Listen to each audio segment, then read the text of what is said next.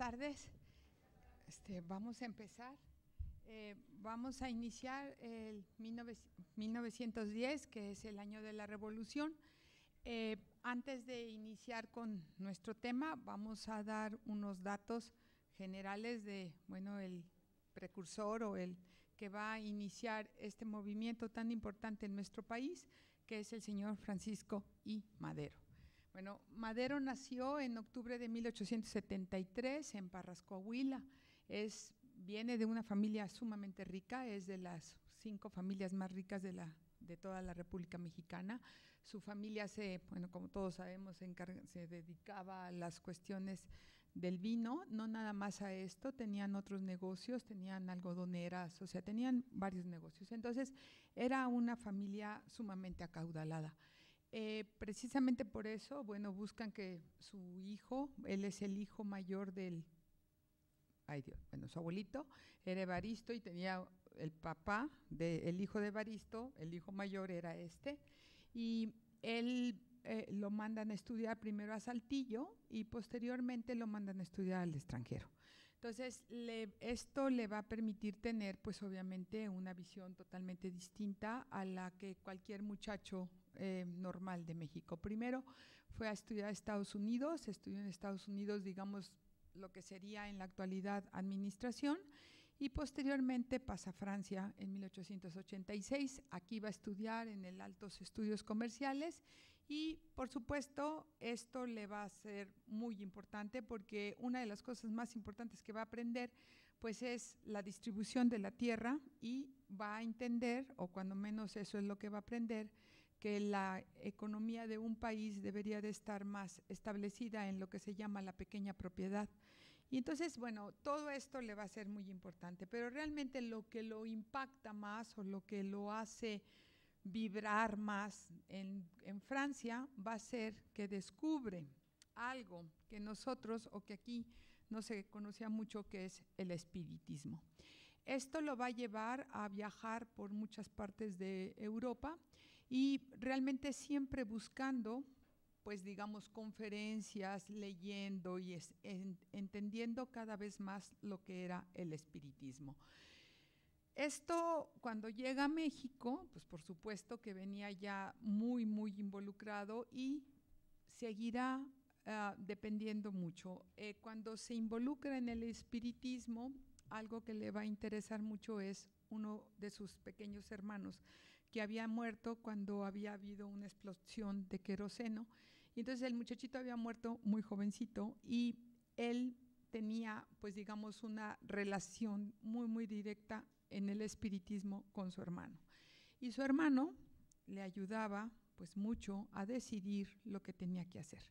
Una de las cosas que el hermano le va a empezar a decir, bueno, cuando regresa a México, es que tiene un gran compromiso con la sociedad mexicana.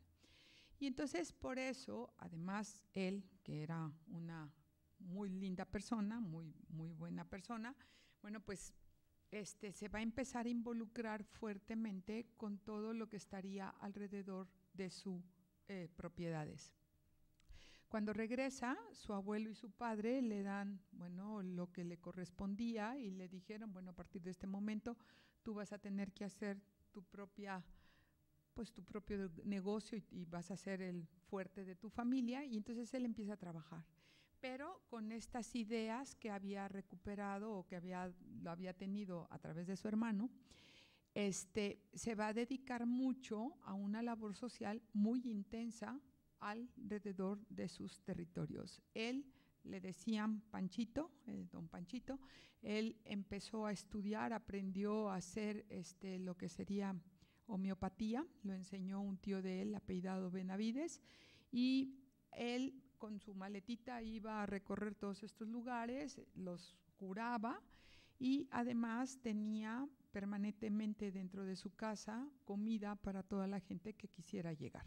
Entonces, realmente es una labor pues muy notoria, muy altruista y entonces empieza a hacer. Obviamente esto le va a permitir tener pues una relación con el pueblo y conocer al pueblo y conocer las necesidades del pueblo. Entonces, así es como empieza. En 1903 se casa con una mujer extraordinaria con la cual nunca pueden tener hijos, que es doña Sara Pérez de Madero. Y esta mujer eh, creo que su gran labor fue haber estado al lado de él siempre y apoyarlo siempre, no nada más para tener las 60 comidas que se daban diario en su casa, sino que recorre con él el país. En estas circunstancias, cuando él está viviendo así, bueno, se está dando cuenta de los problemas y empieza a tratar de hacer su vida política. Primero va a contender como presidente municipal de Parras, obviamente pierde, y claro que pierde porque Porfirio Díaz tenía controlado absolutamente todo, ¿verdad? Entonces pierde y luego se vuelve a postular, vuelve a perder. Entonces, como que en esta idea de altruismo y en esta idea de ayudar y en esta idea de involucrarse con el pueblo, bueno, piensa que a través de la carrera política lo podría hacer. Obviamente toda su familia le decía que estaba medio Lucas, él realmente con una pues devoción, digámosle, o con un apego muy importante a lo que él creía que era su fin en este mundo, lo sigue haciendo. Y en eso van a empezar los graves problemas en nuestro país, que son los que vimos la clase pasada, que hablábamos de las eh, grandes huelgas que hubo en México en 1906 y en 1907. Entonces, todo esto pasaba mientras él ya había tratado de hacer la, una, bueno, pues una propuesta política que obviamente no le va a salir. Y entonces cuando empieza a trabajar y cuando se da cuenta o cuando se empieza a conocer lo que mm, este Porfirio Díaz había dicho en la entrevista a Díaz Krillman, bueno, pues él decide, ¿sí? Él decide, cuando oye, cuando sabe, cuando ya lo que vimos la clase pasada, obviamente decide empezar a contender y entonces va a escribir un libro, un libro que se llama La sucesión presidencial. En este libro él hacía un análisis, bueno, pues de lo que estaba pasando en nuestro país y daba, pues cuando menos, lo que él creía sería la solución a las nuevas elecciones que iban a ser en 1910. Una de las soluciones que daba era, bueno, que Porfirio Díaz se, lanzara como presidente, pero que el vicepresidente, bueno, pues fuera él. De tal manera que acuérdense, todo mundo estábamos esperando que se muriera Porfirio Díaz. Para 1910 Porfirio Díaz iba a tener 80 años. Entonces, en el entendido de que si entraban como mancuerna para las elecciones, bueno, si Porfirio Díaz moría, él iba a continuar de una manera pacífica las elecciones o el gobierno en nuestro país. Entonces, obviamente Porfirio Díaz, bueno, pues le dice que no, ¿verdad? Que qué pena, ni siquiera leyó el libro. Y entonces él va a decir, decidir perdón, crear su propio partido. Y entonces va a empezar a hacer este partido que se llama anti-reeleccionista. Por supuesto, el nombre del partido, o sea, el nombre del partido es total y absolutamente en contra de la política establecida por Porfirio Díaz por 30 años en nuestro país. Entonces, lanza el partido, empieza a hacer su campaña. Él iba a muchos lugares, este, en todos los lugares hablaba y trataba de decir, bueno, cuáles eran sus propuestas y cuáles eran sus ideales. De tal manera que Madero se va a convertir en el caudillo y, digamos, sus propuestas como en la bandera. Este antireeleccionismo va a ser la bandera más importante de la revolución. Entonces empieza a hacerlo, se lanza como candidato. Por supuesto, al principio Porfirio Díaz lo ve con muy buenos ojos, por, acuérdense lo que dijo en la eh, Díaz Krillman, y posteriormente, bueno, pues ya no le va a gustar tanto su candidatura. Por eso lo va en 1910, ya que había hecho toda su campaña política, ya que había ido a recorrer todo el país, ya que todo, eh, pues lo va a mandar a encarcelar. Madero, en estos primeros años, digamos, de su campaña política, tuvo una relación muy, muy directa con el Partido Liberal Mexicano que encabezaban los hermanos Flores Magón. Al principio, pues la verdad es que digamos, tenía los mismos ideales. El ideal era, pues, establecer la democracia, establecer un gobierno antireeleccionista, por supuesto, y establecer la justicia, que eso era lo que hablaban mucho los Flores Magón.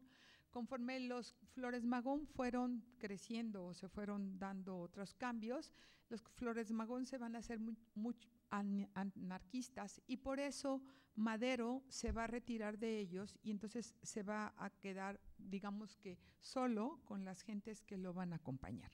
Entonces, así estaban todas sus, este, pues, sus predicciones para ser un gran presidente, se van a dar las elecciones, obviamente lo van a meter a la cárcel, lo meten a la cárcel en, en San Luis Potosí y una vez estando en la cárcel, pues claro, eh, va a salir de la cárcel, se va a escapar de la cárcel y va a lograr escapar e, y huir a Estados Unidos, a San Antonio Béjar.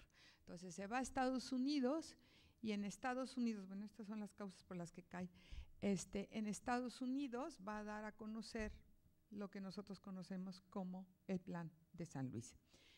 El Plan de San Luis, obviamente, se llama así porque fue hecho mientras estaba en la cárcel. La cárcel no crean que era, pues, así como una cárcel cárcel, sino que era un sitio domiciliario y por eso él puede escapar fácilmente.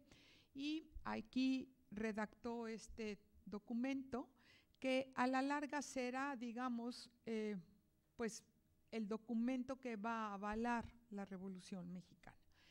En este documento, bueno, lo primero que decía es pues que desconocía total y absolutamente el gobierno del señor Porfirio Díaz, porque claro, el gobierno del señor Porfirio Díaz pues había sido electo de manera anticonstitucional y entonces lo desconoce. No nada más desconoce a Madero, sin, perdón, a Porfirio Díaz, sino que también desconoce a todos los gobiernos que habían, pues que estaban al lado de eh, estatales, que estaban al lado de Porfirio Díaz. Entonces, hay un desconocimiento general.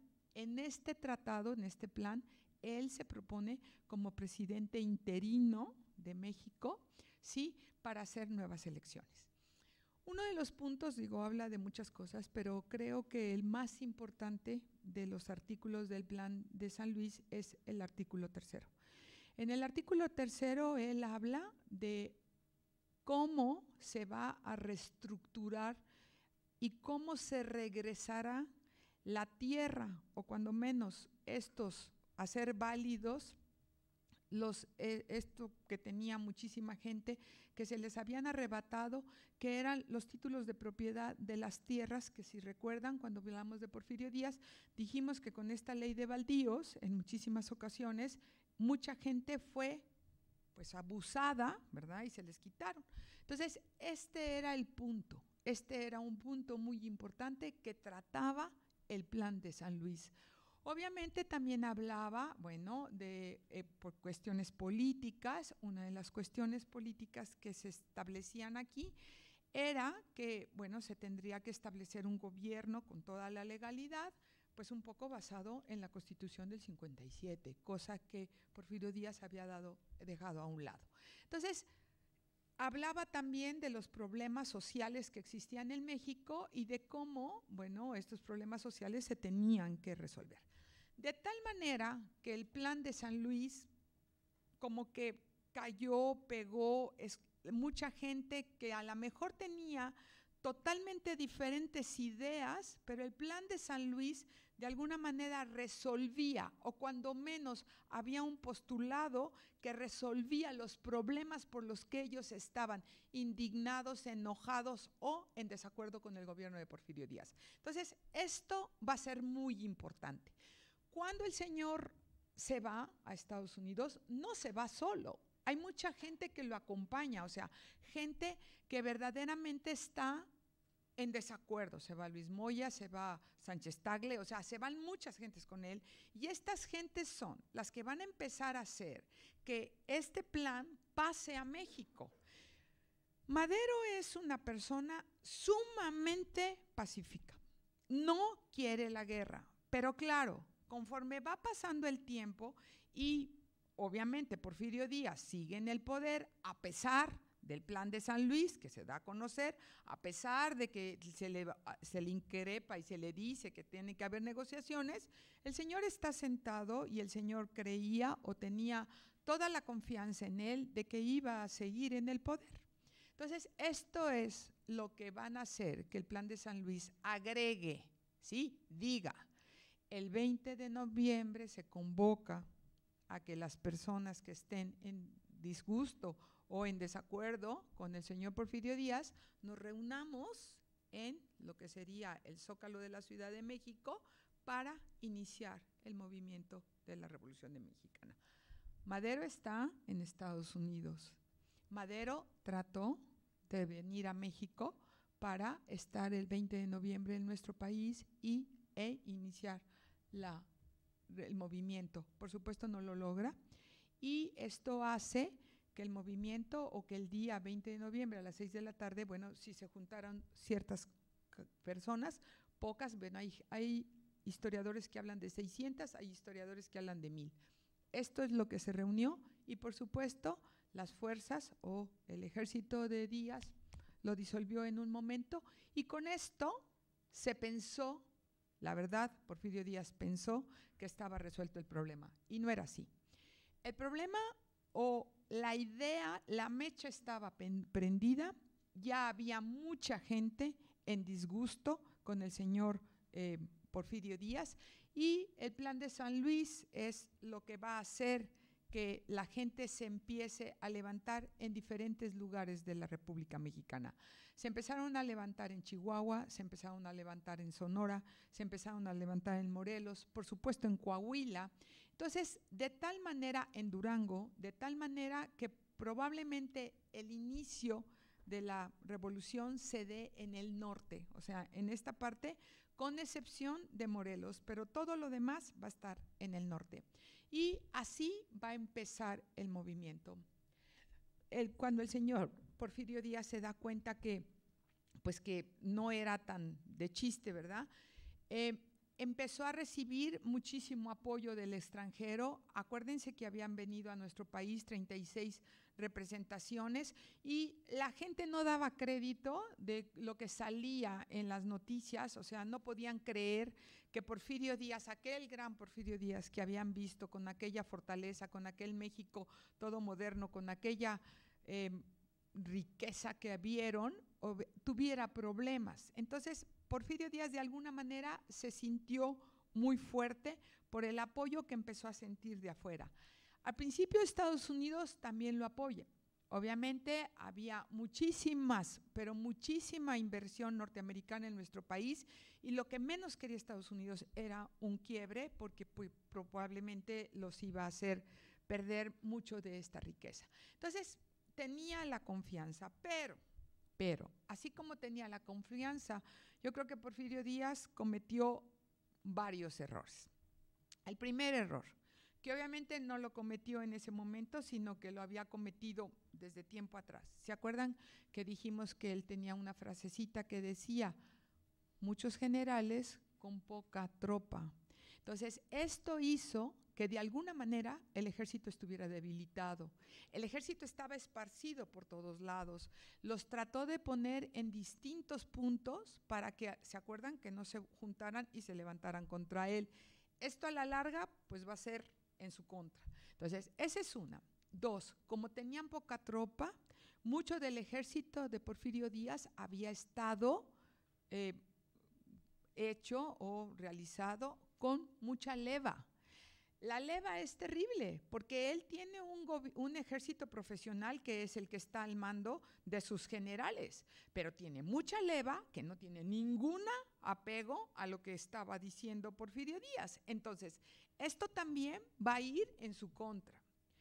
El tercer gran error que va a cometer, que ese sí lo va a cometer ya iniciándose el movimiento, es él cree que lo va a poder controlar y va Acuérdense que Porfirio Díaz es papá gobierno. Entonces, desde el Palacio Nacional, él dirige el ejército. Tiene al su secretario de guerra, que realmente era un hombre pues no tan preparado para un movimiento como este, que era el señor Manuel González, y realmente, o sea, hubo problemas, o sea, no tenía un buen ejército y por otro lado, su sistema de espionaje era malísimo. Todo lo que trató de hacer y de descubrir qué era lo que estaba pasando no le funcionó. Increíble, pero su ejército no conocía tan bien el territorio como obviamente los movimientos que se están haciendo, sobre todo en zonas muy agrestes, digamos, y como serían Durango y Chihuahua.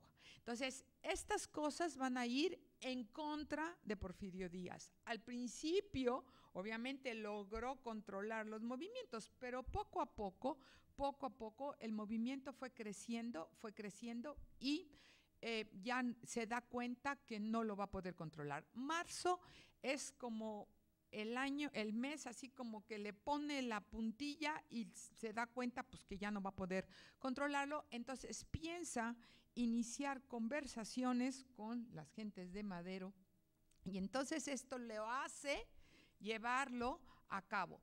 Las conversaciones se llevaron fuera del país, fuera del país, algunas se llevaron en Washington.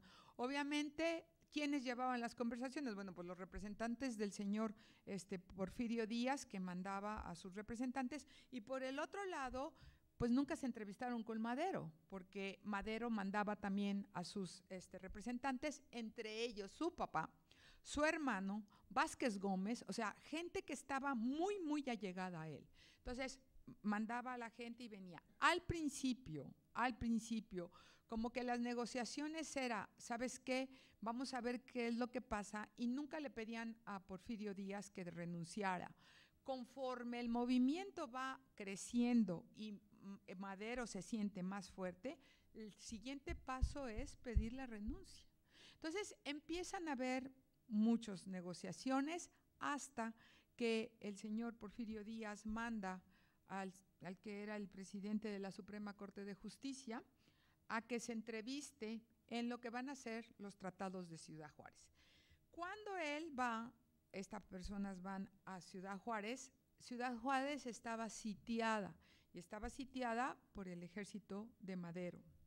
Pero, fortuitamente para Madero, antes de que se, hicieran las, las pláticas, un ejército comandado por Orozco, Villa, Garibaldi y un señor que se llamaba José de la Luz Blanco, dan un golpe y toman la ciudad de Juárez, Ciudad Juárez, para que ahí el señor Madero establezca su gobierno provisional. Entonces, Madero ya tiene, digamos, un centro cuando llegan los representantes del señor Porfirio Díaz. Llegan los representantes de Porfirio Díaz y empiezan a negociar, pero digamos, él ya tiene un respaldo. Entonces, empiezan a negociar y aquí se le dice que la única solución es pues que renuncie y que se vaya del país.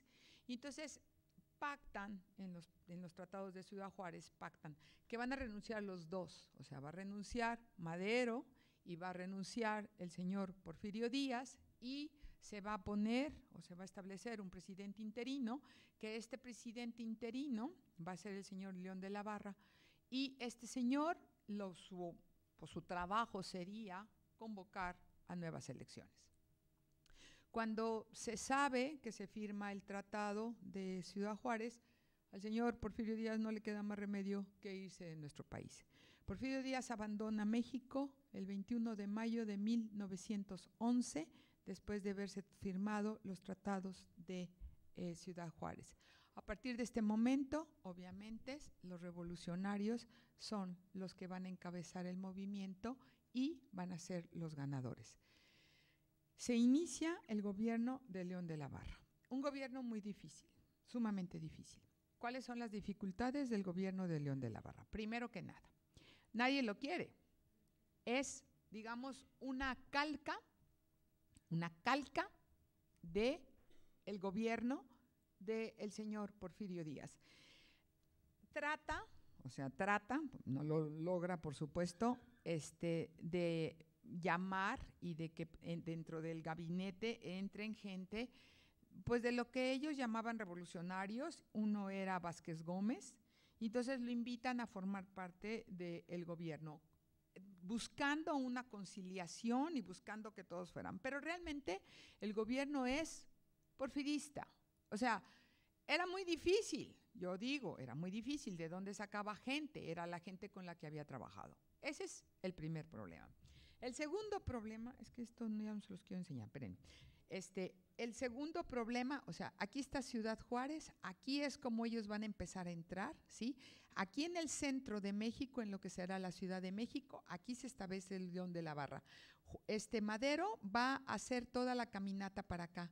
Por donde pasaba Madero, obviamente era recibido y con todas las fanfarrias habidas y por haber. Estuvo aquí, pasó de aquí, en todos lugares era pues como reconocido como el gran salvador, para decirlo de alguna forma, ¿no? Entonces, él empieza a entrar, ahorita vamos a regresar a este mapa, va a entrar y va a ir haciendo toda su campaña política, mientras el otro gobierna aquí, con serios problemas. Primero, la gente no está de acuerdo. Segundo, cuando se da el plan de San Luis, el plan de San Luis, por supuesto, establecía cambios socioeconómicos y sobre todo de territorio muy importantes cosa que el Señor no va a hacer.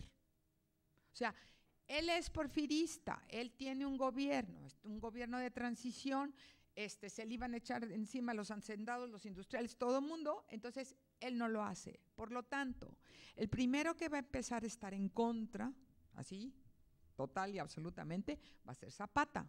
Zapata está enojado Ahorita vamos a hablar un poquito de Zapata. Pero Zapata está enojado desde el gobierno de León de la Barra. ¿ok? Ese es el segundo problema que tiene León de la Barra. Y por último, el último problema que va a tener es que cuando se termina la, bueno, se supone que se termina la revolución, porque ya se fue el señor Porfirio Díaz, que esa es otra de las preguntas que ahorita vamos a ver. En julio, Madero, que este es yo creo que un grave error, pero bueno, dice que se deben de licenciar todas las tropas revolucionarias. Cuando se licencian todas las tropas revolucionarias, obviamente hay muchos que no se licencian, entre ellos Zapata. O sea, ellos dicen, no, ¿por qué? Este es un movimiento revolucionario. El, el, ejército revolucionario es el que va a llevar o el que va a establecer un gobierno revolucionario. Licenciar las tropas es ir como un poco en contra de lo que sería el, movimiento. Y otro, como no se lleva a cabo el plan de San Luis, porque no se lleva a cabo en el gobierno de León de la Barra, obviamente también hay una decepción, hay una decepción muy grande, porque me uní, o sea, uh, ¿cuál era el objeto de que yo estuviera en la guerra? El objeto era ganar esto ya terminó el movimiento y tampoco se consigue. Entonces empieza a haber desaveniencias. Obviamente para León de la Barra va a ser dificilísimo conciliarlo. Por un lado, Madero haciendo, obviamente, una exhaustiva campaña y con un apoyo extraordinario. Él no tenía apoyo, el grupo que tenía pues ya tampoco lo tenía muy apoyado. Entonces, obviamente tiene un gobierno muy difícil, por eso no termina. Una vez que se hacen elecciones y por supuesto gana con todo el señor Madero, Madero sube a gobernar nuestro país el 11 de noviembre de 1911. La pregunta es, ¿por qué nos seguimos peleando? ¿Por qué? ¿Por qué la revolución? Miren, les voy a enseñar una cosita. Bueno, ahorita regresamos a esto, esperen. Este, ¿Por qué la revolución Ay, Dios. No me digas. Bueno, ¿por qué la... Aquí, esto era lo que yo quería. Bueno, ya no lo encontré. O sea, ¿por qué la revolución? ¿Qué es lo que hace? Si la revolución fue para quitar al señor Porfirio Díaz por sus tantos años de gobierno, ¿qué hace? O sea, ¿qué provoca que nos sigamos peleando? Se supone que en el momento que Madero sube al poder, ese sería el gobierno revolucionario o sería el representante de este movimiento revolucionario que se dio. Un movimiento muy importante, no nada más en México, o sea, era, era la primera revolución del siglo XX, era una revolución que implicaba muchas cosas, económico, político, social. Entonces, esto es lo importante. Vean aquí, En 1910 hay una unificación, una unificación muy importante, una unificación que es el target o el que vamos a vencer es Porfirio Díaz. Lo logramos en 1911, cuando se va y cuando Madero sube al poder. Pero a partir de que Madero sube al poder, hay una fragmentación. Hay una fragmentación, ¿por qué? Porque no se cumplió el, plan de San Luis, porque se licenciaron las tropas, porque no se les dio el reconocimiento a las tropas, por lo que ustedes quieran. Pero hay una fragmentación y hay una fragmentación muy importante. Y esa fragmentación nos va a llevar a que cuando el señor Madero se siente en el poder, obviamente tampoco las tenga todas consigo, porque no las tuvo este, el señor León de la Barra, pero tampoco las va a tener Madero. La gente eh, probablemente lo vea porque ¿quién va a estar en el, en el equipo? ¿A quién va a poner? Bueno, pues también va a poner, va a tratar de hacer un gobierno de conciliación, definitivamente. Va a tratar de poner a todas las gentes importantes dentro del, gobierno, pero hay muchos, pero muchos porfiristas.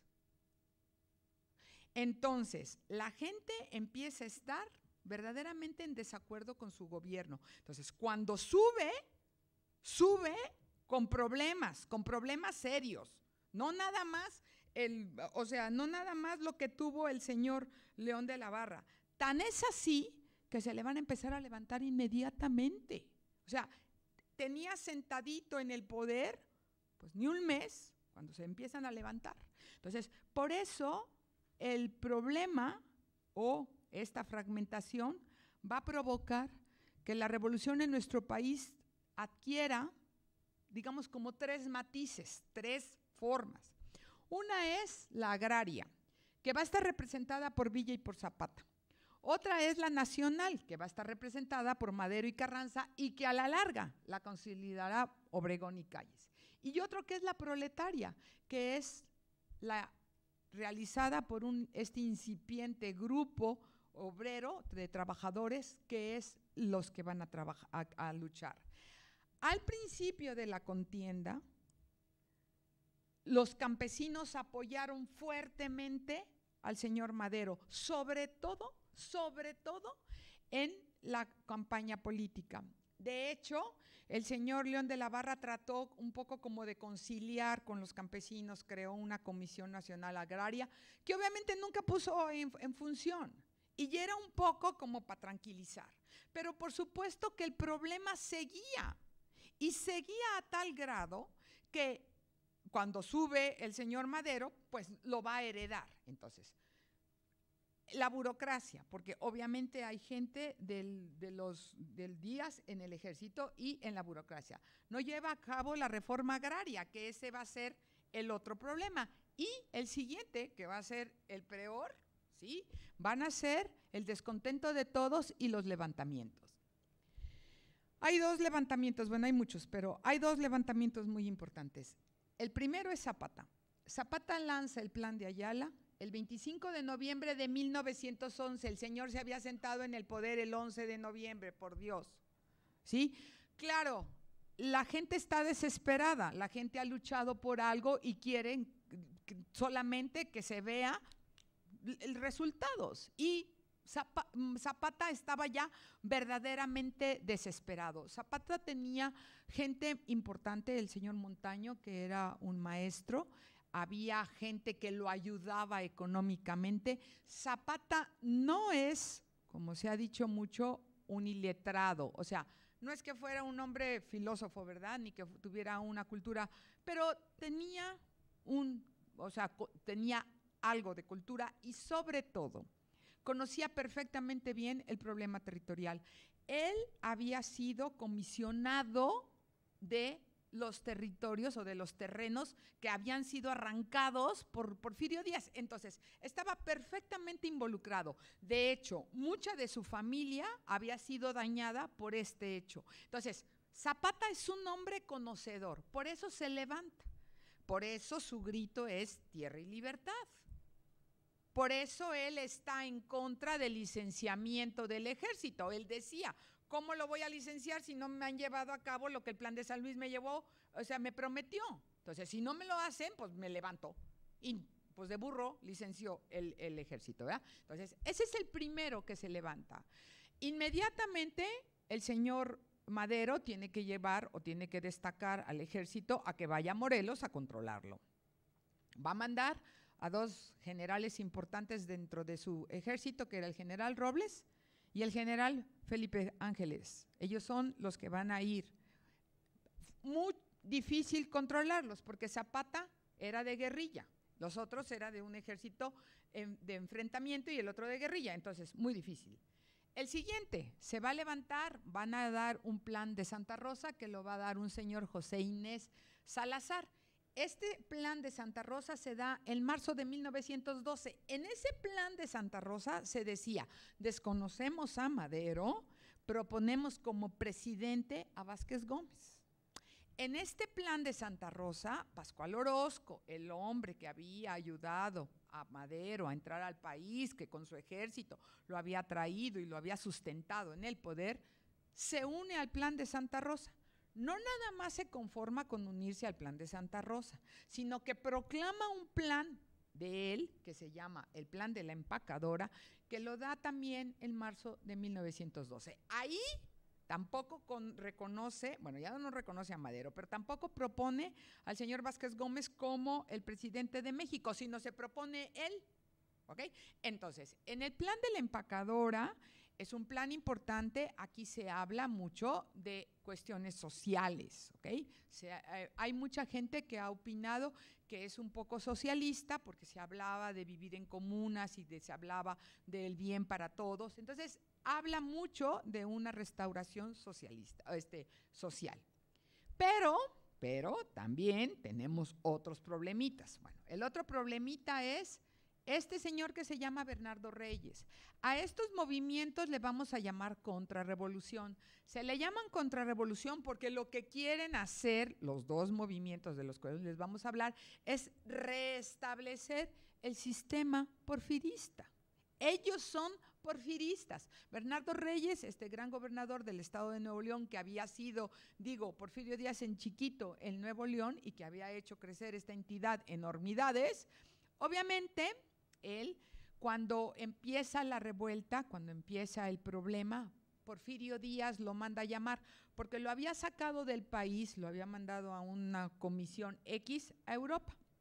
Cuando se empieza a dar cuenta que el movimiento aquí iba en serio, lo manda a traer. Entonces, Bernardo Reyes llega de Europa y cuando llega de Europa se da cuenta que tiene un grupo enorme que lo empieza a apoyar y que le empiezan a decir que lance este nuevo partido que se llama el Partido Reyista. Entonces, él va a tratar de sublevarse, se va a levantar el 16 de septiembre de 1911. Madero todavía no está en el poder. El 16 de septiembre se levanta contra León de la Barra, eh, viene aquí, lo toman prisionero, lo meten a Linares, en Linares lo meten a la cárcel y posteriormente lo llevan a la cárcel a la Ciudad de México, a lo que se llama Santiago Tlaltelolco y ahí lo meten en la cárcel. Entonces, este es el otro movimiento. Y luego, en octubre de 1912, se subleva Félix Díaz, que es sobrino del señor Porfirio Díaz y que obviamente, por supuesto, pensó solamente con el apellido y sabiendo que soy sobrino, pues obviamente voy a llegar al poder y la gente me va a apoyar. Para, mí, para octubre de 1912, por supuesto, Madero ya tiene muchos problemas. O sea, ya Madero tiene las sublevaciones, entonces ya tiene muchos problemas. Entonces Félix Díaz piensa que realmente va a lograrlo. Félix Díaz no tenía la grandeza que tuvo su tío como gran militar ni como gran político. Y obviamente tampoco las circunstancias de nuestro país estaban como para que todo el mundo le aplaudiera a Félix Díaz. Madero va a tener que combatir las tres, digo, perdón, las cuatro levantamientos. Cuando va aquí, aquí, esto es muy importante, aquí ya dijimos a quién manda. Aquí va a mandar a un hombre muy peculiar que se llama Victoriano Huerta. Y Victoriano Huerta va y logra controlar y derrotar a Orozco. Y obviamente la orden era matarlo. Y Madero dice que no. Entonces, aquí Victoriano Huerta, porque esto es muy importante, va a empezar a crecer. Lo van a empezar a ver como, bueno, pues como el salvador de un movimiento, ¿verdad? Entonces, bueno, aquí va a empezar a crecer. En esto, bueno, ya lo derrotaron, aquí lo derrotan, primero lo meten a la cárcel en la ciudad de Veracruz, y entonces los reyistas y los felicistas se empiezan a poner de acuerdo y deciden hacer una sublevación para derrotar al señor Madero desde Veracruz y desde la Ciudad de México.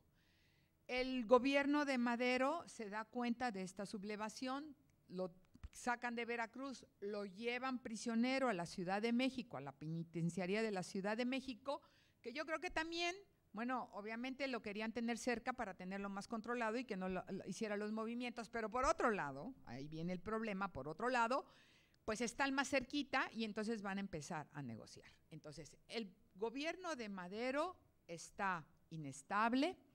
Para principios de 1913, con estas tres o cuatro movimientos, según él, controlados, se siente sumamente seguro, empezó a tener muchos problemas económicos, eh, Estados Unidos empezó a presionar muchísimo. Una de las cosas que presionó fuertemente Estados Unidos era que se les tenía que dar respaldo y que se les tenía que proteger a todas las gentes norteamericanas que vivían aquí. Madero eh, siempre tuvo el apoyo de Estados Unidos, por, por, algo estaba en Estados Unidos y por algo desde allá la inició el movimiento. Claro, uno de los problemas que en un momento dado tuvo con Estados Unidos es que Estados Unidos lo, lo acusó de haber roto la ley de neutralidad cuando Madero está en el poder en este momento, el presidente es el presidente Taft. El presidente Taft es republicano. El presidente Taft de alguna manera, de alguna manera jugó, ¿sí? Primero apoyó a uno y luego va a apoyar a otro. Por eso también se habla mucho que el problema o la Revolución Mexicana se extendió porque tuvimos apoyos de Estados Unidos en todos los sentidos. Y entonces esto hacía que creciera un grupo y que creciera otro, y entonces se dieron los movimientos así. Entonces, cuando en 1913, ¿sí? El Madero cree que tiene todo controlado, es un error muy grande y aquí va a aparecer una persona muy importante norteamericana que se llama el señor Henry Lane Wilson. Él era el embajador él era el que iba con Taft, él era el que le decía a Taft, probablemente exageraba los problemas de México, pero una de las cosas que Taft tenía muchísimo miedo eran las fronteras le importaba muchísimo que las fronteras estuvieran pacificadas porque él sabía que si no el problema iba a pasar a su país. Entonces, él buscaba mucho eso. Si se acuerdan, todo está pasando en la frontera. Entonces, como que Estados Unidos está así como que entre azul y medias noches, ¿no? Entonces, esto hace que se empiece a pactar o que se empiece a decidir. Uno, entre Reyes y Díaz decidan hacer un movimiento, hacer una, unión entre los dos para destituir al señor Madero del poder. Entonces, este movimiento que se llama la decena trágica se inicia en la madrugada del 9 de febrero de 1913. El señor Madero tiene 15 meses en el poder, o sea, nada, ¿verdad? Entonces, este, resulta, bueno, se inicia así. Lo primero que se trata de hacer en la madrugada del 9 de, es liberar, ir a, dos lugares, liberan a uno que se llamaba la Ciudadela y otro que estaba en Tlalpan, que era la escuela militar. Entonces de ahí salen los batallones, llegan a lo que sería el zócalo de la Ciudad de México, porque lo, lo que se intenta hacer es tomar el Palacio Nacional. Obviamente logran su cometido, toman el Palacio Nacional. Una vez que toman el Palacio Nacional, eh, se, se aposentan ahí, pero el que estaba al cargo del Palacio Nacional era el general Villar. Este general retoma el Palacio Nacional y entonces ahí se va a dar una confrontación. Posteriormente se busca, obviamente, llevar a cabo lo que en un momento decidieron Félix Díaz y el señor Bernardo Reyes. Entonces deciden sacar a los dos, van los bandos, los sacan a los dos, y entonces vuelven a tratar de tomar la ciudad, el, el Palacio Nacional. En este enfrentamiento matan, matan al señor Bernardo Reyes, el señor, el general Villar, que era el encargado del Palacio Nacional, queda herido, ¿sí? Y toman el Palacio Nacional. Mientras todo esto está sucediendo, el señor Madero y el señor Pino Suárez, que era su vicepresidente, estaban en el castillo de Chapultepec, que era la residencia del presidente. Entonces, estando ahí, él se está dando cuenta de todos estos problemas, empieza a ver una matazón terrible, empiezan a matar a todos, en esta matazón matan al señor Aquiles Cerdán en Puebla, entonces empieza no nada más en la Ciudad de México, sino que se empieza a expandir a los alrededores. Entonces matan a Aquiles Cerdán, matan a mucha gente y Madero decide ir a Cuernavaca a buscar a, a Felipe Ángeles, que era pues un hombre que él le tenía mucha confianza, para que viniera a hacerse cargo del problema en la Ciudad de México. Entonces, sale el 17 de febrero, sale de eh, Palacio Nacional, se va a dirigir, no es cierto, sale del Chapultepec, se dirige hacia Palacio Nacional y aquí va a tener, pues, digamos, una decisión muy desafortunada, se para frente a lo que sería en la actualidad el Palacio de Bellas Artes, Ahí, como le, informan que el general Villar estaba herido, decide nombrar jefe del ejército o cuando menos de, las, eh, de la policía o del ejército de la Ciudad de México a Victoriano Huerta. Y obviamente Victoriano Huerta, que ya tenía negociaciones con Felipe Ángeles, o sea, Felipe Ángeles ya no estaba con Madero para estos entonces, Felipe Ángeles ya había negociado fuertemente con Huerta, ¿sí? Y el señor Huerta acompaña al señor Madero y a Pino Suárez a Palacio Nacional y los pone prisioneros en Palacio Nacional. Obviamente ya no van a salir de aquí. Y empiezan todos estos gravísimos problemas. el señor eh, Huerta hace negociaciones con Lane Wilson y con este hombre se va a firmar lo que se llama el plan de la embajada.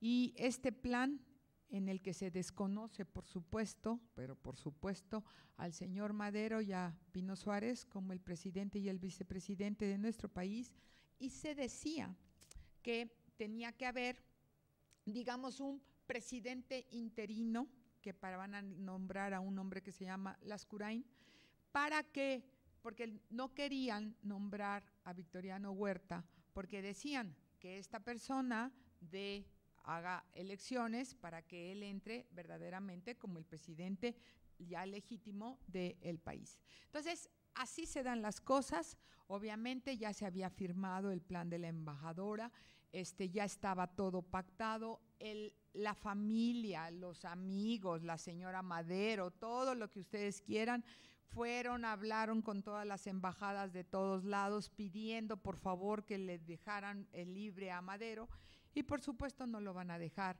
Eh, de hecho, Huerta va y habla con el embajador de España y le pide que vaya a hablar con Madero y que le diga que renuncie. Y Madero le dice, oye, ¿tú por qué te metes en lo que no te importa? O sea, estas son cuestiones de política interna, tú no tienes por qué entrar. También Estados Unidos fue y trató y Madero también les dijo que él no negociaba con ellos, que con los únicos que tenía que negociar era con la gente de México. Por supuesto, no se logró nada. Eh, se hace, pues, una, pues obviamente un teatro en el que se va a decidir asesinar al señor Madero. Eh, se dijo que se había tratado de escapar, y eh, que lo habían tratado de llevar en la madrugada, obviamente todo es en la madrugada del 22 al 23 de febrero de 1913, que lo trataron de llevar a lo que sería pues la eh, ferrocarriles para que ahí tomara un ferrocarril y se fuera a la ciudad de Veracruz y que se trató de escapar y que entonces lo mataron. Obviamente le dieron lo que se llama la ley fuga y lo mataron por la espalda. Realmente creo que aunque no haya tenido el carácter, aunque no haya sido lo suficientemente fuerte, no merecía morir así, pero bueno, así muere y a partir de 1914, digo de 1913, el señor Huerta se hará del poder en México.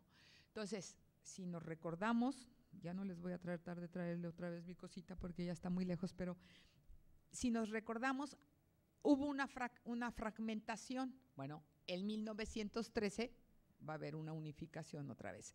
Y esta unificación la va a dar el asesinato de Madero.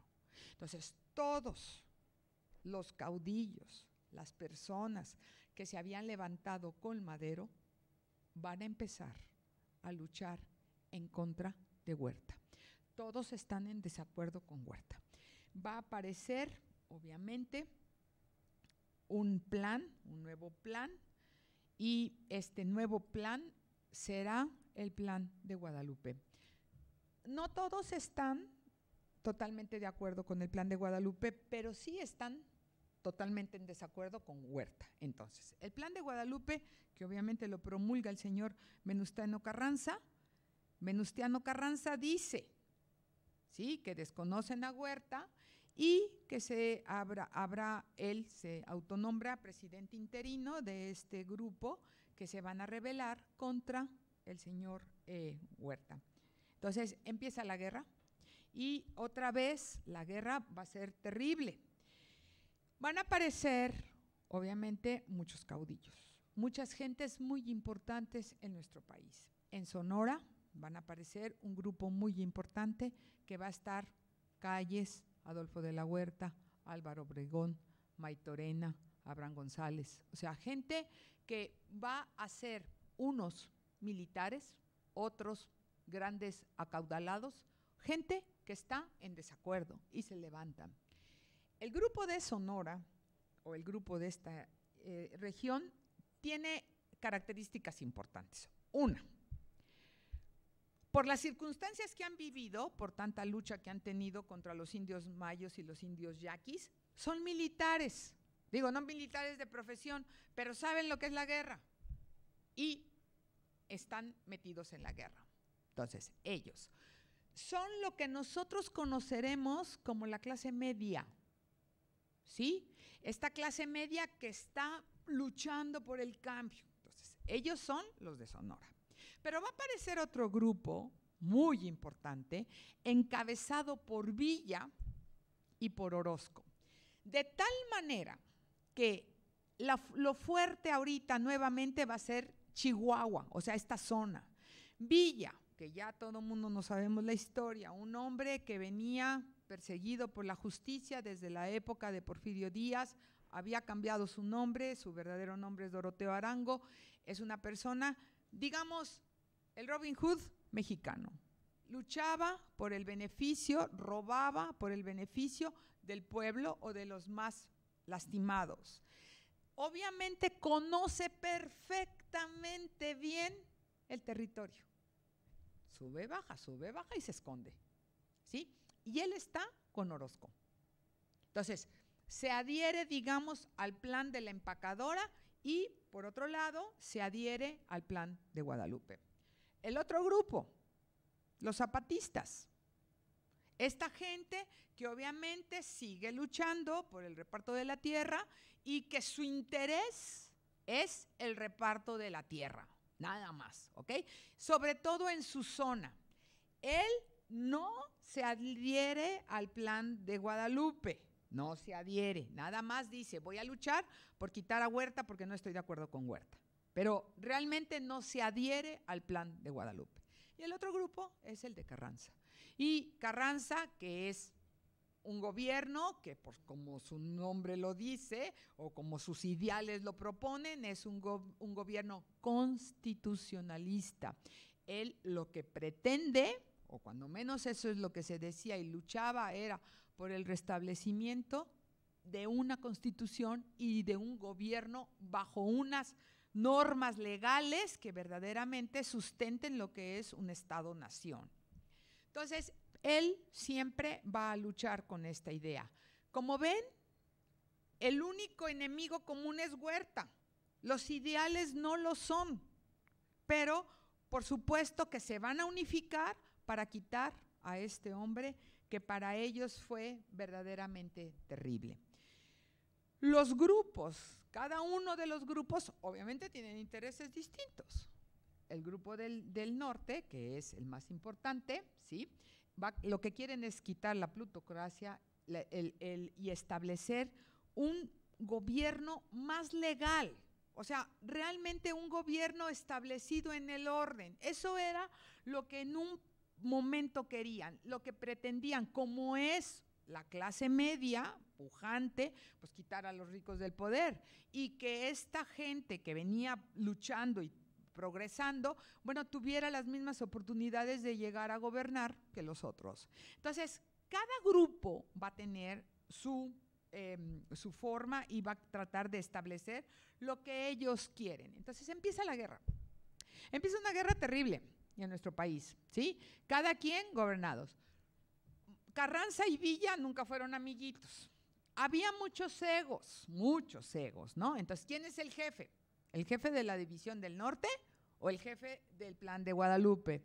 Entonces, había muchos egos. Lo único importante es que a la larga, a la larga, ¿sí? Van a lograr derrotar a Huerta. Carranza eh, luchó fuertemente y al lado de Carranza va a haber un hombre que a la larga lo va a llevar a la gloria, que se llama Álvaro Obregón. Entonces Álvaro Obregón va a venir, van a hacer mancuerna, van a luchar, van a trabajar, van a trabajar, van a trabajar y van a correr a Huerta del país. Huerta se va del país en 1914. ¿Sí? Y entonces aquí es donde viene lo bueno. A ver, todos hemos participado en la guerra. Todos somos parte del plan de Guadalupe. ¿Quién es el ganador? Según el plan de Guadalupe, Carranza. Entonces, Carranza entra a la Ciudad de México y aquí va a tener otra desaveniencia fuertísima con Villa, porque le dice, tú no entres, tú vete al norte y tú quédate en el norte controlando el norte. En cambio, Álvaro Obregón sí lo manda a la Ciudad de México. Y entonces Villa se enoja terriblemente. Y a partir de este momento como que va a haber, bueno, si ya había habido este, momentos difíciles, por ejemplo en Torreón, bueno, este, aquí se van a empezar a separar fuertemente. Entonces, Carranza entra a la Ciudad de México y toma el gobierno. La Ciudad de México era como como el trofeo, digamos. En el momento que alguien tomaba la Ciudad de México, eso significaba que iba a ser el gobernador o el presidente de la República. Carranza, bueno, avalado por el plan de Guadalupe, llega a la Ciudad de México, se asienta en la Ciudad de México. Y ahora sí, ¿qué hacemos? ¿Cómo, cómo nos organizamos? ¿Qué, qué, qué vamos a hacer? Entonces, empieza a ver antes de que llegara a la Ciudad de México, él ya había propuesto y les había dicho a todos los caudillos que ya hemos visto que se reunieran y que se iba a hacer un plan para ver cuál era la solución para este país. Crear una constitución, qué forma de gobierno, cómo se iba a gobernar, quién iba a gobernar. Eso lo propone antes de entrar a la Ciudad de México. Bueno, llega a la Ciudad de México y claro que se sienta en la Ciudad de México, ¿verdad? Y entonces Álvaro Obregón es el que le dice, bueno, vamos a hacer la reunión. Vamos a buscar un lugar que no sea de nadie. Sí, o sea, un lugar neutral. Entonces, Álvaro Obregón propone Aguascalientes. Y entonces dice, vamos a Aguascalientes, en Aguascalientes nos sentamos todos y negociamos y vemos qué es lo que quiere este país. Y Carranza le dice que no. Carranza le dice, pues que qué pena, pero pues que él ya estaba aquí. Una de las características de Carranza, bueno, cuando menos eso dicen sus biógrafos, es que era sumamente testarudo. Y no oyó razones, no escuchó ninguno de los comentarios que le hicieron todos los que estaban a su alrededor. Entonces él decide no asistir a la convención de Aguascalientes. Y asisten todos, menos él, que era el representante del plan de Guadalupe. Entonces, ya nos unimos, ahora viene otra vez la desunión. Van a la ciudad de Aguascalientes, es una reunión, pues digamos, pacífica, entre comillas. Eh, una de las cosas que se notaba terriblemente era, digamos, la desconfianza de unos y otros. Eh, según los, historiadores, siempre dicen que hagan de cuenta que estaba las personas adentro, porque se reúnen en un teatro en Aguascalientes, si algún día van, ahí está el teatro, ahí se reunieron. Pero los ejércitos de cada uno de, los, de las fracciones estaban apostados alrededor de la ciudad de Aguascalientes, por si había algún problema, el que esté fuera, este, empezaran los trancazos, ¿no? Entonces, así es como se da la, la reunión de Aguascalientes, y en la reunión de Aguascalientes empiezan a darse cuenta que los proyectos de uno y de otro son totalmente diferentes. Entonces, lo primero que dice Villa, y, Zapata es, nosotros no tenemos ningún interés en ser el presidente de la República. A nosotros no nos interesa eso. Lo único que queremos es un gobierno que esté avalado por todos y empezar a gobernar este país. Obviamente eso significaba desconocer el plan de Guadalupe y desconocer a Carranza como el presidente. Entonces, todos se juntan, como Carranza no fue, pues efectivamente se hace esto, en 1914 se ponen de acuerdo y se van a elegir van a elegir a un presidente representante de la Convención de Aguascalientes. Entonces, el, perdón, Lagos Cházaro es uno, Gutiérrez es el otro, hay uno Garza de aquí, o sea, hay muchas gentes, pero Villa siempre está detrás de ellos. Y aunque él decía que no quería ser el presidente, como que él fue el que encaminó a estas personas a que sean los nuevos presidentes de la República y él iba a estar detrás. Pero tenemos otro pequeño problema. Tenemos otro presidente que se llama Carranza y que está en la Ciudad de México. Entonces, cuando esto sucede, cuando ya se decide que el presidente va a ser Gutiérrez, deciden tomar los ejércitos e ir hacia la ciudad de Veracruz, perdón, hacia la Ciudad de México y establecer el gobierno en la Ciudad de México. ¿Qué hace Carranza? Carranza lo que hace es irse inmediatamente a Veracruz. Y entonces, ay Dios, ¿por qué no tengo mi mapa? Bueno, se van a Veracruz y él va a establecer el gobierno en la ciudad de Veracruz. Entonces, vamos a tener dos presidentes, porque esto es lo más importante. O sea, de todo lo que les he dicho, lo más importante es que vamos a tener dos presidentes. Y esto lo único que denota, o sea, lo único que denota es desorden en este país. Les repito, los del gobierno de, Aguascalientes se va a suceder uno a uno. Probablemente, probablemente esto es lo que hace que la convención de Aguascalientes o el gobierno de la convención de Aguascalientes no sea lo suficientemente fuerte. En cambio, el, gobierno de Veracruz, que está encabezado por Carranza, nada más es él. Y él es el que manda, y él es el que está al frente tiene un gran compañero que se llama Álvaro Obregón. Y Álvaro Obregón es, mm, Carranza no era buen militar, Álvaro Obregón sí. Entonces, él tiene a Álvaro Obregón, o tiene las dos partes, él como político y Álvaro Obregón como el gran militar. Tenía una confianza extraordinaria en él. Álvaro Obregón había ido a la convención de Aguascalientes, no le había convencido mucho y entonces por eso se viene ahora con Carranza. Y Carranza se va y se establece en Veracruz. Y desde Veracruz va a empezar a gobernar. ¿Por qué en Veracruz? ¿Por qué se va a Veracruz? ¿Para qué va allí? Bueno, se va a Veracruz porque obviamente aquí podría tener o recibir de una manera más sencilla el suministro que le mandaba a Estados Unidos. Porque al que va a empezar a apoyar es a Carranza, que es el que en un momento determinado había derrotado a Huerta. Entonces, apoyó a Madero, bueno, primero a Porfirio Díaz, luego apoyó a Madero, luego apoyó a Huerta, ahora ya vamos con Carranza. Entonces, ha habido un apoyo de todo, para todos, por parte del gobierno de Estados Unidos. En 1914 llegaron también a las puertas de nuestro, del puerto de Veracruz, pues también grandes suministros por parte de Estados Unidos.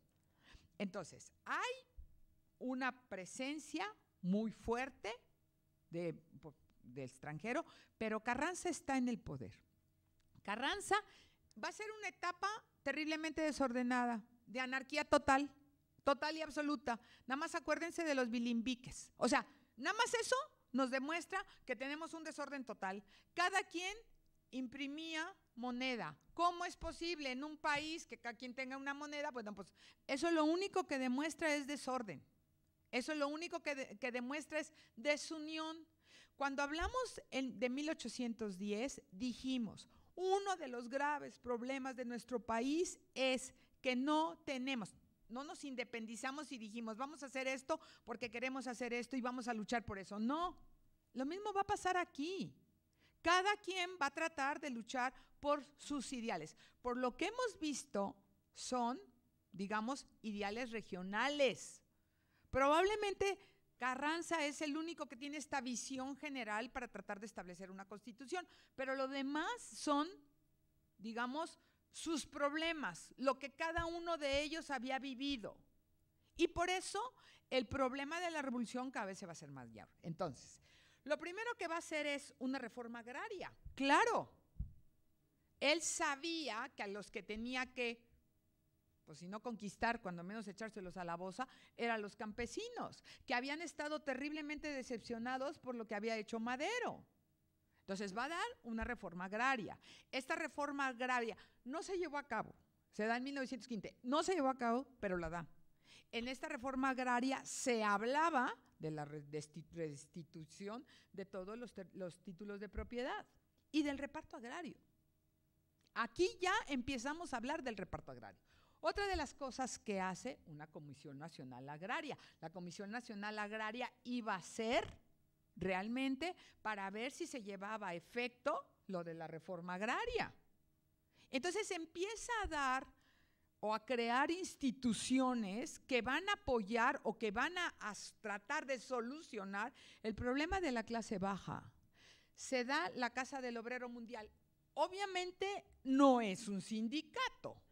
Para estos entonces ya había en todo el mundo muchísimos sindicatos. En México, recuerden, había ya una gran propuesta de sindicatos, digo, los que se hicieron la huelga en Cananea, los que hicieron la huelga en Río Blanco, o sea, ya había una participación. Y hace la Casa del Obrero Mundial. ¿Qué es la Casa del Obrero Mundial? Bueno, la Casa del Obrero Mundial es un lugar donde podían ir tanto los obreros como los industriales para platicar de sus problemas.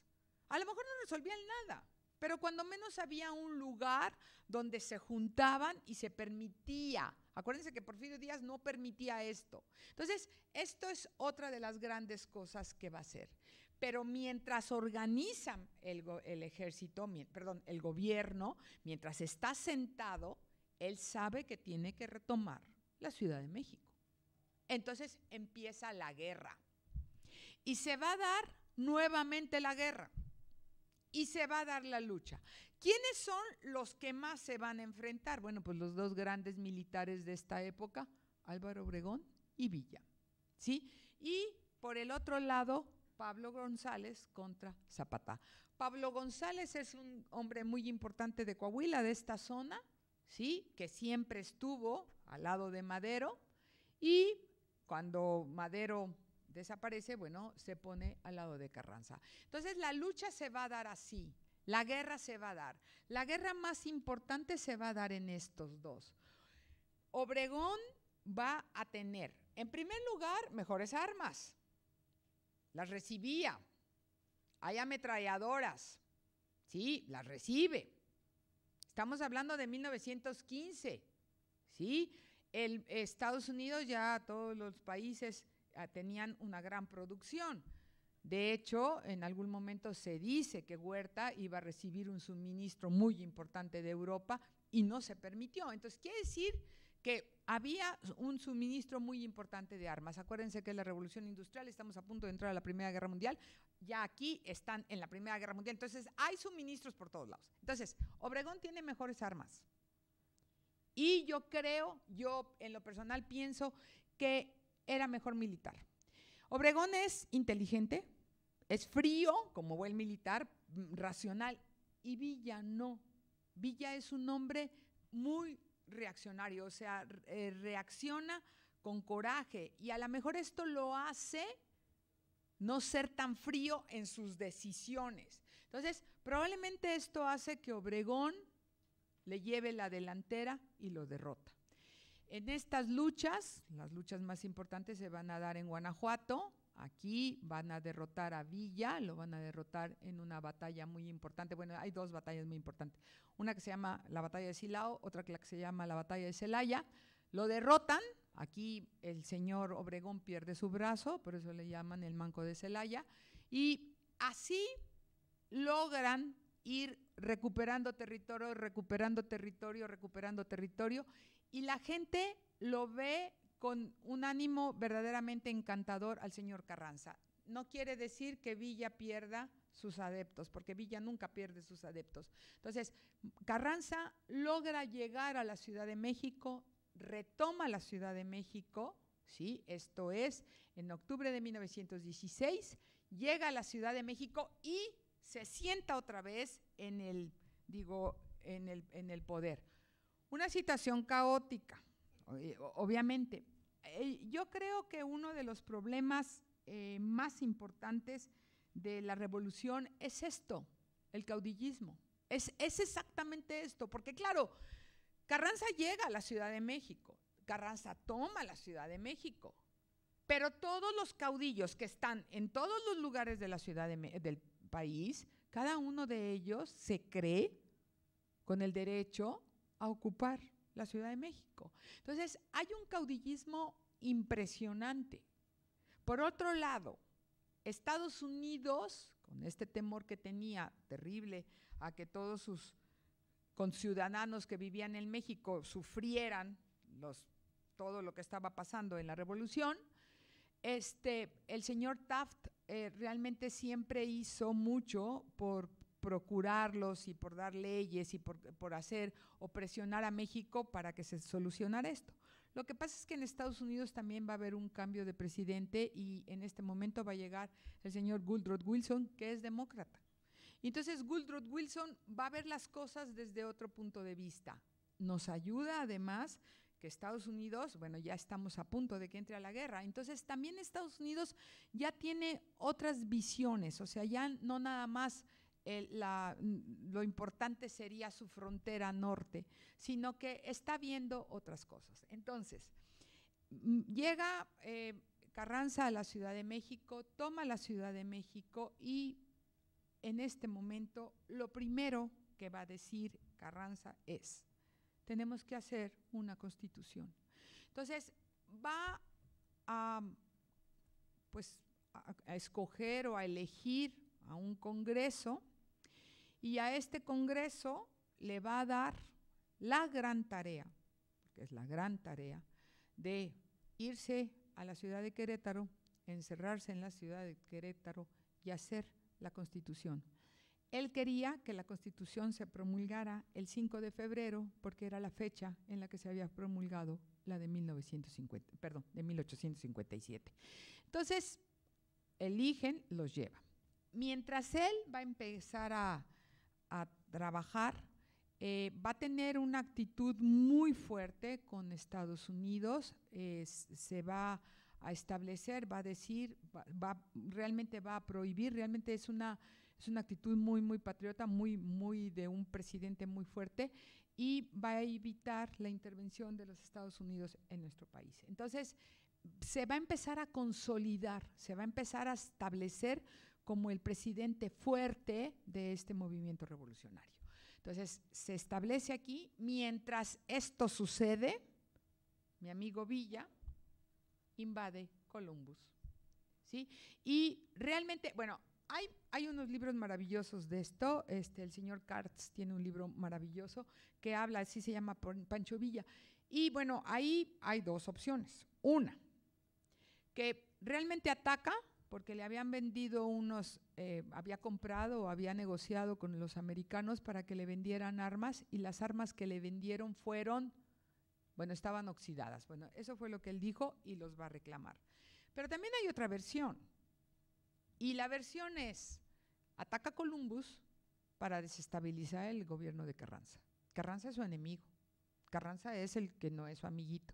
Entonces, bueno, a lo mejor si yo ataco Columbus, el ataque va a provocar una respuesta agresiva de parte de Estados Unidos, como fue. ¿Qué hace Carranza? Obviamente, esto es lo que nosotros conocemos como la invasión punitiva, porque nos vinieron a castigar por la invasión que se hizo a Columbus. Esta persecución que se hizo al ejército de Villa duró ocho meses en nuestro país.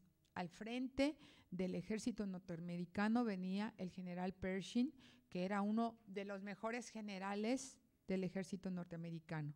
Entonces, lo empiezan a perseguir. Villa se escondía, lo perseguían, se escondía, se lo perseguían, se escondía, y realmente, realmente no lo pueden tomar prisionero.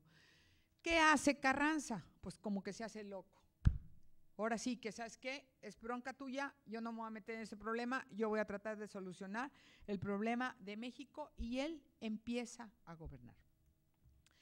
Va a tratar, o sea, eh, va a tratar de, de gobernar pues con lo que tenía. Y por eso, pues la administración que va a establecer, digamos que va a tener una característica terrible que es la corrupción. Nosotros hemos oído muchísimas veces el término carrancista y el término carrancista quiere decir que robaban. Este término no nada más va a ser hacia los, digamos, los, pues los de la administración, sino que también muchas veces el ejército. La gente tenía mucho miedo del ejército, porque cada vez que entraban, a donde entraban, pues obviamente eh, se llevaban un pequeño botín o lo que le encontraban. Para estos entonces, obviamente, la situación económica de México es muy penosa. Es penosa porque cuando el señor Porfirio Díaz deja las arcas, las toma León de la Barra, cuando León de la Barra sale, había 48 millones de pesos en las arcas. Nuestra moneda estaba a 50 centavos por un dólar. Obviamente, para 1916, bueno, pues las arcas, me perdonan, pero estaban ya pelonas. Ya habíamos pedido un préstamo, un préstamo de 10 millones de dólares que venían siendo 20 millones de pesos. Porque claro, uno de los gastos más terribles era el ejército.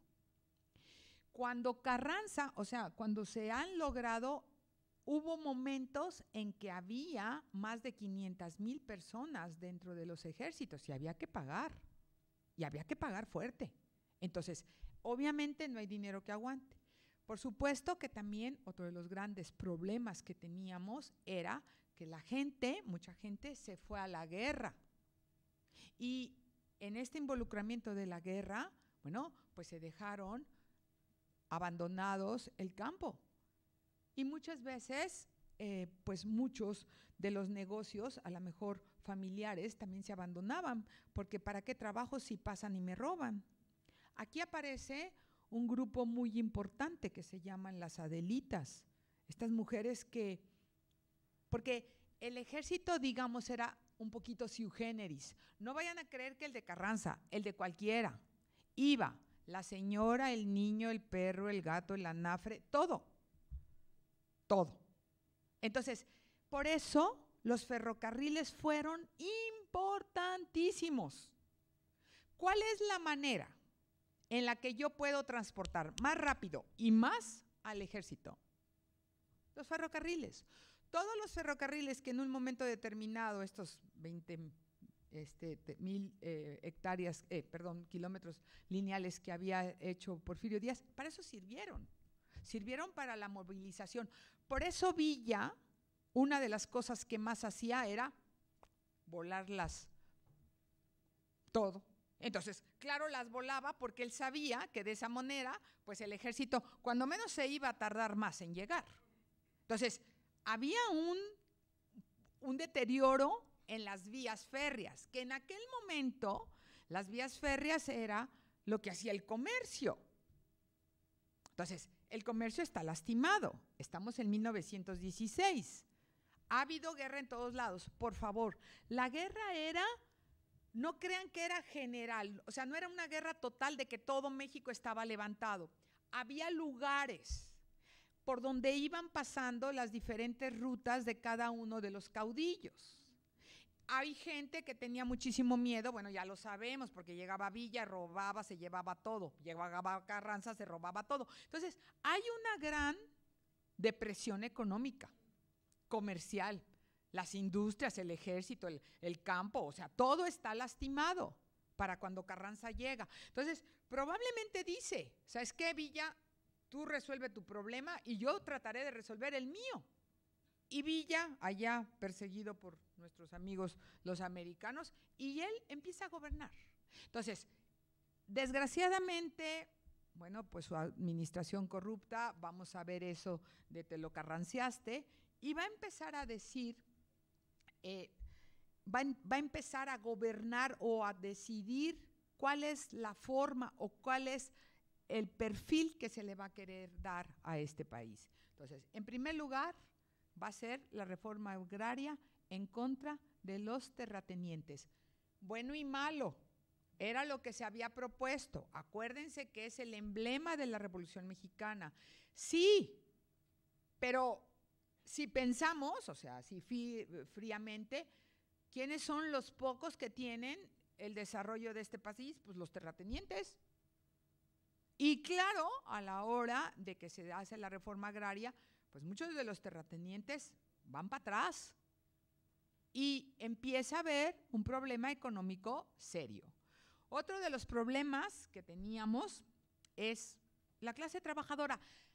Los obreros, acuérdense, miren, eran poquitos. Los obreros o esta clase que se gestó durante la época de Porfirio Díaz, bueno, no es que fueran un mundo de gente, pero era un grupo importante. Y son los que también van a empezar a pujar por los cambios a favor. la, la Revolución Mexicana tiene, digamos, tres emblemas. Los emblemas de la Revolución Mexicana es democracia junto con la antireelección. El segundo es tierra y libertad. Y el tercero es social. Son cambios sociales que se piden para este movimiento. Porque si nosotros pensamos, así como fue la independencia, cuando hablamos de la independencia, si nosotros así fríamente pensamos, el movimiento se inicia por una idea ideológica, pero el movimiento se sigue por una idea social y económica. No me digan que las gentes que vivían en las tiendas de raya estaban muy convencidos de la democracia, estaban convencidos de los problemas que tenían y del hambre que vivían. Y por eso se unen al movimiento. Entonces, es un movimiento muy social, con una ideología, pero se convierte en un movimiento muy social. Por eso se involucran hasta las adelitas. Es un movimiento tan importante que va a marcar fuertemente a nuestro país, o sea, es, es lo que va a cambiar la estructura de nuestro país. Entonces, otra de las cosas que va a buscar fuertemente es la soberanía nacional en contra del extranjero. Entonces, él va a empezar a luchar por todo esto. Esto es lo que él va a tratar de estructurar. Ahora han habido muchas eh, pláticas o muchos libros que se han escrito acerca de la Revolución Mexicana y la verdad es que yo creo que a Carranza le están dando o sea, lo están poniendo en un plano que antes no tenía, o sea, como que están diciendo, realmente, realmente el que terminó la revolución y el que fue el que recabó todo lo de la revolución es Carranza. Entonces, este gobierno va a permanecer, este, va, para querer permanecer en el, en el poder, tiene que re reconocer las necesidades y atacarlas. Y esto es lo que Carranza en su momento va a hacer. Entonces, en 1900, ya les dije que juntaron, en 1917, efectivamente, se promulga la constitución de nuestro país. Esta constitución, digamos, es una copia o es una, pues sí, una copia de la constitución del 57. Solamente se van a agregar ciertos artículos que van a ser muy importantes para la nación, muy importantes para México, el primero aquí no lo tengo, pero el primero es el artículo tercero. Y el artículo tercero habla de la educación. Y dice, la educación debe de ser gratuita, obligatoria y laica. SAS, trancazo primero. Ya lo habían dicho en la Constitución del 57. Porfirio Díaz, ¿se acuerdan que se había hecho medio loquito? Bueno, no importa. Aquí, laica, no nada más laica, punto. Ok obligatoria. Pero los artículos que más van a poder va a ser el artículo 27, porque claro, el artículo 27 dice, la tierra y el subsuelo de la tierra son de la nación. ¿A quién le pega? A todas las inversiones extranjeras que teníamos en el país. Entendamos Estados Unidos. Había inversión inglesa, había inversión holandesa, había inversión americana. Cuando se habla de la tierra y del subsuelo, por supuesto se habla del petróleo, ¿verdad? Los inversionistas en el área del petróleo ya habían tenido, digamos, ciertos resquemores y así cientos molestias desde el gobierno de Madero. Madero puso un impuesto mayor al que se tenía con Porfirio Díaz. El impuesto era irrisorio, o sea, irrisorio. Porque claro, yo decía, cinco centavos por barril. ¿Ustedes saben, ustedes creen que sabía cuántos barriles extraían? Pues no. Cada quien pagaba lo que podía o lo que quería. Entonces, ahí empezó el primer molestia. Pero cuando se da el artículo 27, bueno, pues la molestia es mayor. ¿Cuándo se va a llevar a cabo? ¿Qué va a pasar con todas las inversiones extranjeras? Y Estados Unidos, sobre todo los inversionistas norteamericanos, no nada más tenían petróleo, tenían inversión en minas y tenían inversión en tierra. La tierra, había grandes, grandes, extraordinariamente buenas haciendas o territorios, o como le quieramos llamar, que, eran, que estaban en el norte del país, que producían maravillas. Pero entonces este artículo les pega por todos lados por todos lados. Y claro que por todos lados están así. Así. En este momento, en 1917, Estados Unidos va a entrar a la guerra, a la Primera Guerra Mundial. Cuando se suscita la, entrada a la Primera Guerra Mundial, bueno, gracias a Dios se llevan al general Pershing y entonces ya no tenemos un ejército en nuestro país. Y entonces también se puede llevar a cabo todas estas implementaciones de la Constitución, pues porque ellos tienen un problema más serio que resolver, que sería a ver la Constitución de nuestro país. El otro es el artículo 123, que es un artículo muy importante porque es el artículo del trabajo. Y entonces aquí se empieza a estipular las obligaciones y los derechos de los trabajadores. Entonces, cuántas horas de trabajo, cuántas horas este, van a tener de vacaciones, este, nada más podían trabajar de lunes a sábado, eh, se restringía muchísimo el trabajo de los niños, de las mujeres. Entonces empieza a haber una serie de disposiciones muy importantes para México, para este México que se estaba formando. Hay artículos muy importantes. El artículo 29, por ejemplo, que habla de los megapoderes que se le daban al Ejecutivo. Obviamente, Carranza viene de toda la bronca. Él piensa, tenemos que poner un gobierno más fuerte que pueda controlar y solamente dándole poderes al Ejecutivo. Ese es uno. El otro, el 130, que este artículo va a ser muy importante porque obviamente desconocen la, pues, la presencia o la persona civil en todos los que son los sacerdotes y las monjas de este país. Entonces, hay muchos artículos. La constitución de nuestro país tiene 136 artículos. Por favor, no se les olvide, porque es que luego les preguntan a mis diputados y a mis senadores y no saben, por favor. O sea, es una vergüenza, pero bueno, tenemos 136 artículos. Enmiendas todas o más, ¿ok? Pero esta es la constitución. Una vez que Carranza establece la constitución en nuestro país, entonces ahora sí dice, ahora sí se van a convocar elecciones.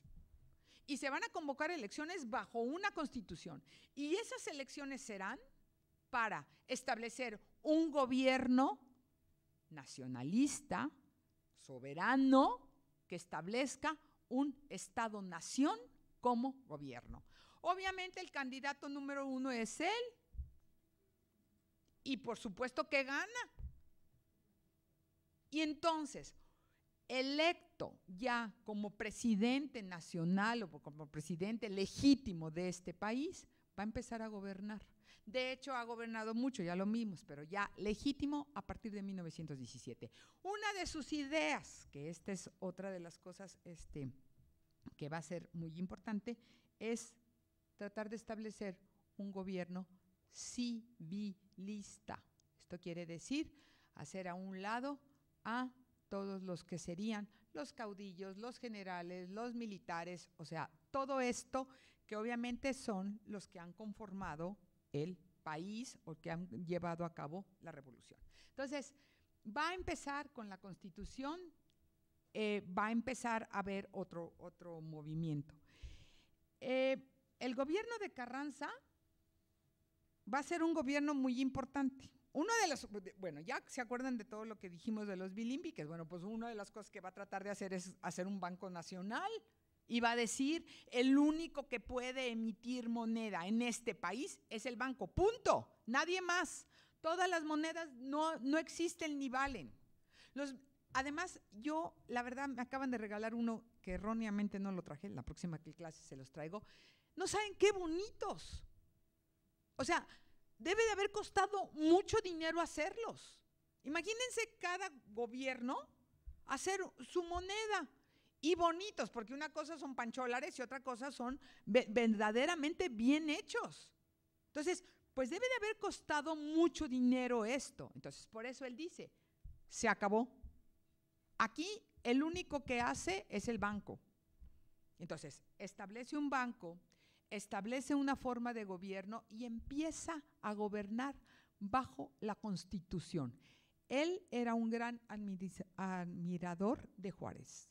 Entonces trata de emular a Juárez lo que Juárez hizo cuando se estableció la República Restaurada. Entonces lo que hace es hacer valer la ley y entonces empieza a gobernar. Con todo esto que les digo, carrancista, este, obviamente va a tratar de controlar la corrupción, va a empezar a dar muchísimas cosas al campesino, al obrero, y empieza a crecer y empieza a estabilizarse. Lo más importante, por favor, no se nos puede olvidar, es el civilismo.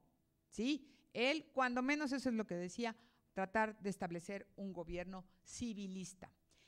El gobierno del señor Carranza, va a durar. Bueno, yo creo que tiene un punto negro en su gobierno y va a ser el asesinato de Zapata. Porque esta es la siguiente. Vamos a tratar de hacer un gobierno civilista, pero para poder hacer un gobierno civilista, pues nos tenemos que deshacer de todos los grandes caudillos. ¿Quién es el que más molesta, que me queda más cerca? Pues Zapata. Entonces, en el gobierno de, de Carranza, desgraciadamente, en una emboscada terrible, otra gente que tampoco se merecía morir así, lo matan. Entonces, ya está Carranza. Obregón se fue a vivir a Sonora. Él decía que a la vida privada. y desde Sonora veía lo que estaba pasando aquí. Con la idea, por supuesto, de que él era el que seguía, ¿no? Pues él puso a Carranza en el poder. Entonces, él allá, este con la idea civilista, cuando se van a empezar a dar las elecciones, cuando van a empezar de nuevo las elecciones, pues decide escoger a otra gente que no es este Obregón y escoge a un hombre que se llama Manuel Bobadilla, que es civil, que es ingeniero y que en el fondo, en el fondo, en el fondo, que él lo iba a poder manejar desde atrás. Y lo propone como el candidato. Pero por supuesto que mi amigo Obregón se levanta, pero sí como. Entonces, este es el problema. O sea, esto es la, herencia que vamos a tener de la revolución. El, aquí, ay no. Este, espérenme, aquí. Fíjense, otra vez, así ya voy a terminar. Este, si nosotros lo vemos aquí, aquí hubo unificación, aquí otra vez unificación, aquí estamos todos luchando porque hay una fragmentación terrible contra el señor este, eh, Huerta. Luego aquí se fragmentan, porque no todos van a la Convención de Aguascalientes, entonces se hacen dos. En 1917 nos volvemos a reunir porque se hace una constitución, porque ganó Carranza, porque se establece un orden formal. Pero aquí, en 1920, nos vamos a volver a fragmentar y nos vamos a volver a pelear.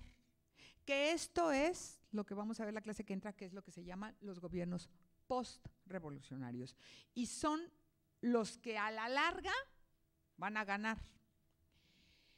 Yo creo que el gobierno de Carranza sustentó, estabilizó nuevamente al país, eh, logró eh, cierto respeto, a lo mejor nos ayudó un poquito la guerra, la Primera Guerra Mundial, pero nos ayudó y estableció una soberanía y se conformó un gobierno fuerte, ¿sí?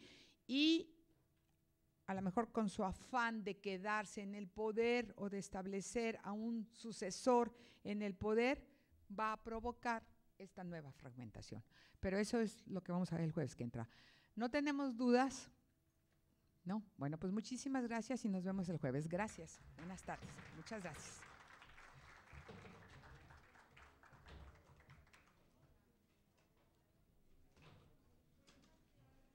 Buenas tardes. Ah, yo creía que me preguntaba algo, perdón.